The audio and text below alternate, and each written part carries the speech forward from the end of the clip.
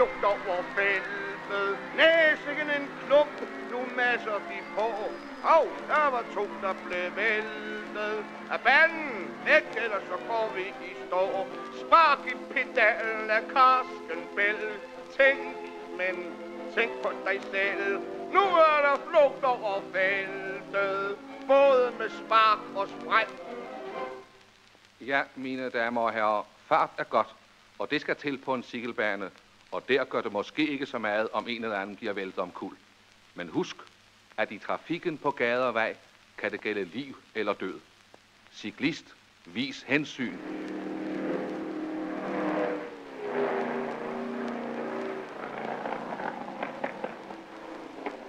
Nu er der flugt over feltet. Giv mukke fikken masser af gas. Tværs gennem kløer og elde. Man føler sig så herligt tilpas. Før da benzinen skulle købes sort, der var det dyr med en sport. Men nu er der flugt over feltet, for nu er maskinen smurt. Ja, det er bare med at træde speederen i bund.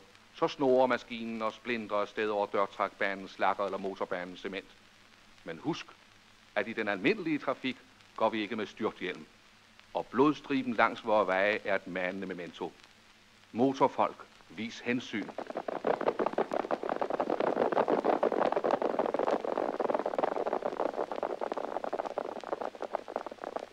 Nu er der flugt over feltet med hestetramp, med hyper, med hop. Jeg er begejstring bliver smeltet. Jeg bliver så løbsk af trav og galop.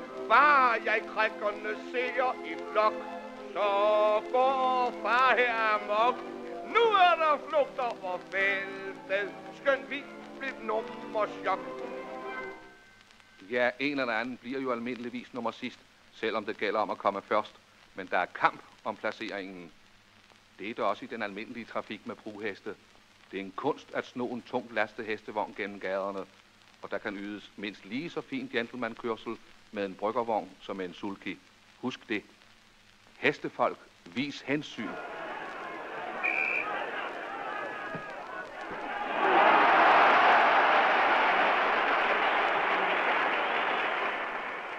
Nu er der flugt over feltet. Se højre hambak, han fikse en tur. Målmandens muskler bliver ældet. Pas på, nu bliver der storm på hans bord. Taklen og finten og skrig og skrål, som fra kaffernes krål. Nu er der flugt over feltet, og nu fik dansken mål.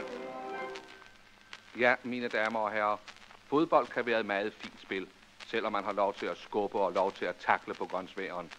Men på fortov og fodgængerovergange skulle vi også gerne have det fine spil frem. I hvert fald skulle det ikke være nødvendigt at knokle sig frem. Også for fodgængere gælder det, vær forsigtig og vis hensyn